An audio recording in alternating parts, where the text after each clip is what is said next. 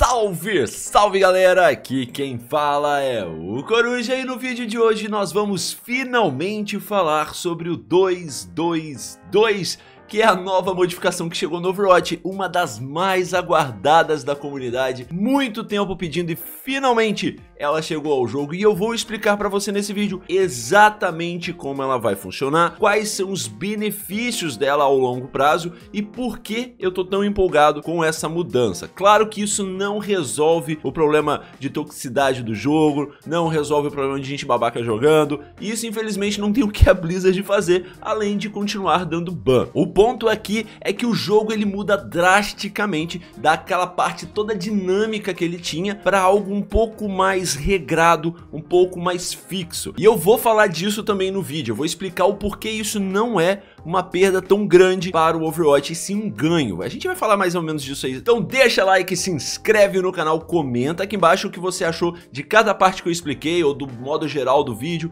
Comenta aqui embaixo pra gente trocar aquela ideia de sempre. Agora vamos começando a falar no que mudou e por que mudou. Primeira coisa é que agora tudo no Overwatch que é oficial é fixo em dois suportes, dois tanques, dois 2 DPS, tanto no jogo rápido, quanto na ranqueada, quanto na Contenders, quanto na Overwatch League. Qualquer coisa oficial de Overwatch será desta forma. Não tem mais aquela liberdade de pegar 5 DPS e um suporte, aquelas composições loucas, ou um Golds, ou coisa do tipo. Agora está tudo regrado. Isso vai mudar muita coisa e já começou mudando. Se você viu o vídeo de ontem à noite, onde eu trouxe todas as mudanças que vão chegar no Overwatch nos personagens, isso já está acontecendo por causa dessa mudança mudança nas ranqueadas e no competitivo de Overwatch e na Kickplay também. Porque agora os personagens precisam se adequar às possibilidades novas que vão surgir dentro do Overwatch. Como por exemplo a Brigitte, que foi a que mais sofreu com isso, porque ela era um terceiro personagem dentro de uma dupla, né? Seja de uma dupla de tanque, você tinha ela como um off-off tank que curava, ou numa dupla de suporte você tinha ela como terceiro suporte que tancava e protegia os suportes e ainda curava. Ela agora deixa de ser isso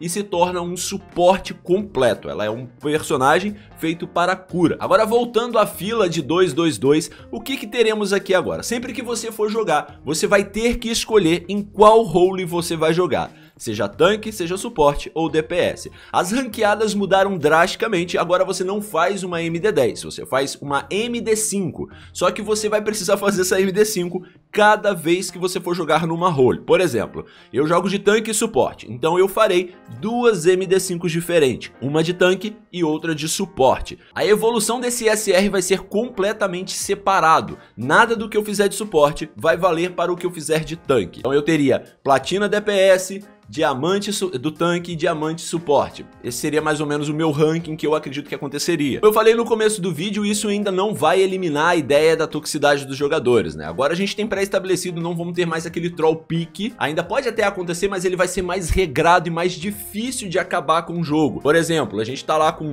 dois, é, dois DPS, dois tanques e dois suportes no jogo. Hoje, se você estiver jogando suporte, você poderia pegar um DPS e acabar com a tática toda, ficar uma bagunça. Pode até dar certo, mas aí vai mais da qualidade do jogador do que da composição ou da sinergia dos personagens. Com essa nova atualização, quem entrou de suporte não vai poder pegar um DPS, fica alocado, você não consegue escolher ele. Isso então dificulta um pouco. O máximo que o cara pode fazer, se um aliado estiver com um off suporte, ele pegar um segundo off suporte para diminuir a cura do time e ferrar com o time. Mas ainda assim é melhor, porque você ainda vai ter uma cura. Claro que ele de repente não cure, vai ficar tipo de Lúcio só com a aura de velocidade para não curar o time, ponto. Ele quer atrapalhar. Por isso que eu tô falando, não tem como a Blizzard é, resolver todos os problemas do Overwatch, porque os problemas humanos são muito difíceis de serem contornados. Com a chegada dessa nova função, desse novo modo, dessa nova forma de jogar Overwatch, a preocupação da galera é tipo, será que a fila vai demorar? Será que não vamos ter jogadores, por exemplo, de DPS suficientes? Será que não teremos jogadores tanques suficientes? A Blizzard prometeu criar estímulos para que esses jogadores cresçam dentro do jogo. Por exemplo, a Blizzard percebeu que de suporte tem pouco jogador. E aí o que, que ela vai fazer? Para diminuir o tempo de fila, ela começa a dar caixinhas para que os jogadores escolham a opção de jogar de suporte. Isso vai criar um estímulozinho, talvez não o estímulo necessário para forçar o cara a aprender a jogar de suporte, ou de tanque, ou de DPS,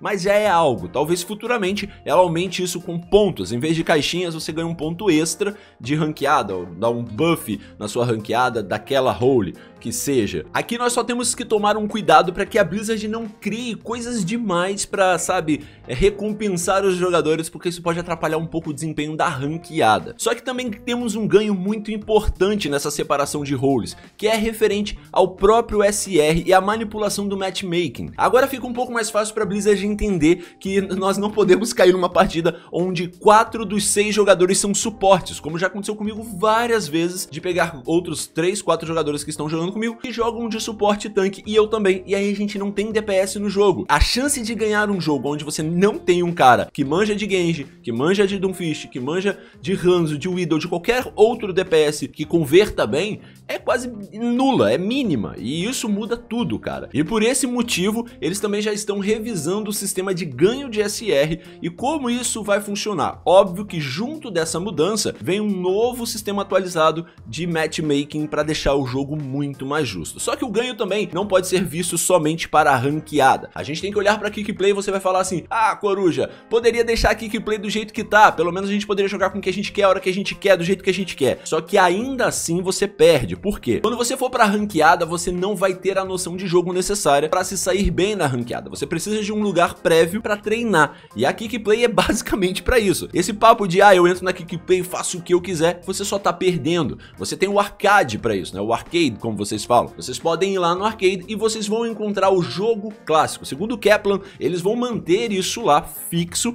para quem quiser jogar o Overwatch como ele era na essência, é só você entrar lá. Assim como tem também no arcade aquele modo de todos os heróis liberados é, em cada lado. Você pode pegar cinco Winston de um lado e cinco Lucy do outro, e, sabe? Como era o Overwatch lá no comecinho e hoje já não é mais. O jogo evolui, o jogo vai mudando e vai se adaptando ao que os jogadores vão criando. Ele tem que ir contornando, criando regras, criando padrões para que o jogo vá ficando cada vez mais divertido. Se você parar para pensar um minutinho numa coisa, você vai entender por que dessa mudança. Fazer uma parada rapidinha aqui no vídeo para te convidar para live no dia 29 deste mês agora, do mês 7, às 6 da noite, lá na Streamcraft. Eu vou fazer um campeonatozinho de Lucio Ball, vamos trocar muita ideia, vai ter sorteio de Overwatch, muito sorteio de Overwatch, vai ter sorteio de crédito de Overwatch pra você comprar caixinha, vai ter muita coisa bacana. Eu vou ficar on das 6 até meia-noite com o apoio da Blizzard e eu quero contar com a sua presença lá. O link vai estar aqui na descrição ou aqui na tela para você, coruja.live. Então anota aí na agenda, põe despertador e compartilha comigo lá no Twitter. É coruja.live, dia 29 do 7 às 6 da noite. Imagina que você chega em casa e tá doido para jogar Doomfist. Você tá doido para jogar Doomfist. E aí você vai entrar numa Kickplay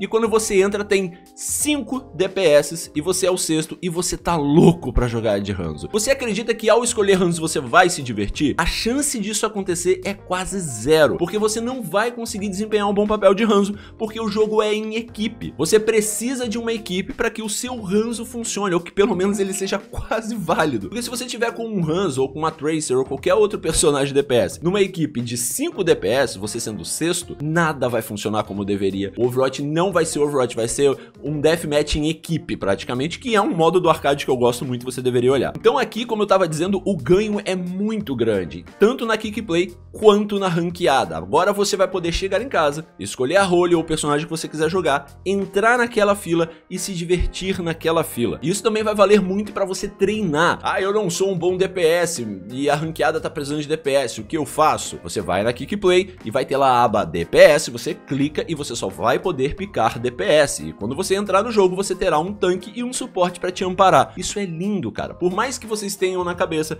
e acredite, eu tive por muito tempo, que Overwatch é um jogo extremamente dinâmico e precisa ser levado desta forma, é muito difícil você regrar seis pessoas. Deixando essas seis pessoas livres, elas vão pegar o que quiser e fazer o que quiser, e o jogo acaba não respondendo, não acaba não sendo divertido num todo. E essa modificação vai realmente resolver esse problema. Uma outra grande preocupação da galera que não tá olhando com bons olhos o 222 é sobre a variação das composições, né? Porque a, quando o Overwatch ele é dinâmico, a variação né, desse meta é gigantesco. Você pode ir de uma dive a um Golds em dois, três meses de nerfs e buffs, como aconteceu no Overwatch. Isso vai ser obviamente regrado pelo 222. Não vai ser tão simples você fazer essa margem. Só que o Jeff Kaplan deu um exemplo muito bacana, cara, na, no vídeo de, de desenvolvedor dele. Na ideia que ele quis passar é que o ser humano ele consegue, mesmo sendo limitado, quando você limita ele, ele consegue abrir a cabeça e criar coisas grandiosas. É, foi isso que ele quis dizer. Mas a explicação do Shakespeare dele ficou meio zoada, né? Mas deixa pra lá.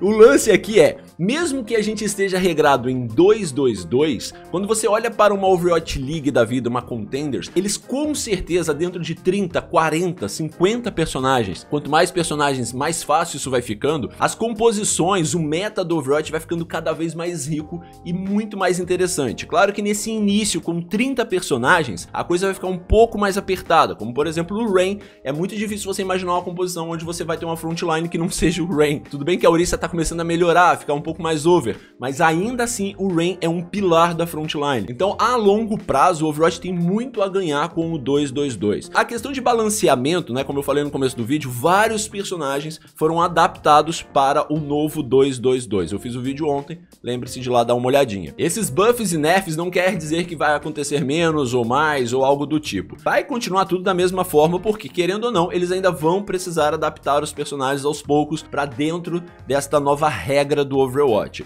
O que importa é que eles já estão fazendo isso e que isso não aconteça no meio da ranqueada, como acontece sempre. Tomara que a Blizzard uma hora entenda que mudar personagem no meio da temporada não faz sentido algum. Vamos ver se uma hora eles entendem isso.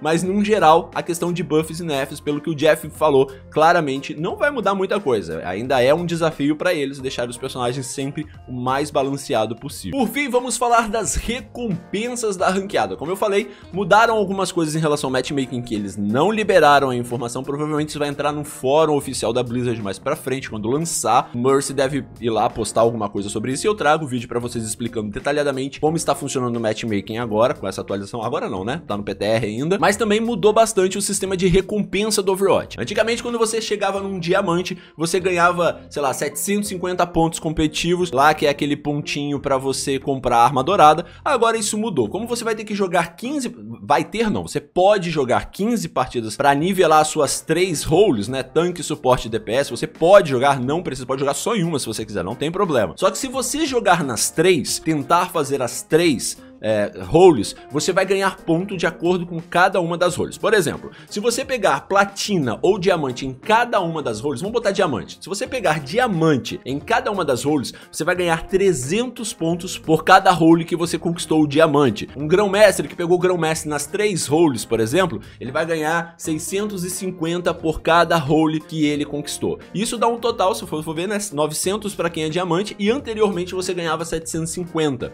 Então você tem um benefício benefício maior por jogar em todas as roles. Você pode ser flex? Você pode. Você pode jogar uma partida, você pode jogar suporte. Na outra, quando acabar a partida, você entra de novo na fila e põe DPS. E na outra, tanque. Você pode ficar eh, fazendo a rotação entre os três. Não tem problema nenhum. Lembrando que cada SR vai ser calculado separadamente. E no fim da ranqueada, quando terminar a temporada, você vai receber os pontos, né, por função separadamente ali bonitinho, que vão somar para te dar a pontuação total no fim da temporada. Isso ficou muito legal. Meus queridos, isso aí é tudo que eu tenho de informação sobre o 222. Eu quero saber a opinião de vocês. Lembrando, isso aqui já vai começar a valer na nova Overwatch League, na quarta fase da Overwatch League. A Contenders também já vai abraçar é, tão logo é, o 222. Vai chegar muito em breve no, do PTR pro oficial. Ah, quando, Coruja? Sempre a mesma resposta que eu vou dar para vocês. O padrão da Blizzard é de duas a três semanas. Nada nunca ficou mais de três semanas no PTR. Nunca também ficou só uma semaninha. Não que eu me recorde, pelo menos. Se eu posso estar errado, põe aí nos comentários,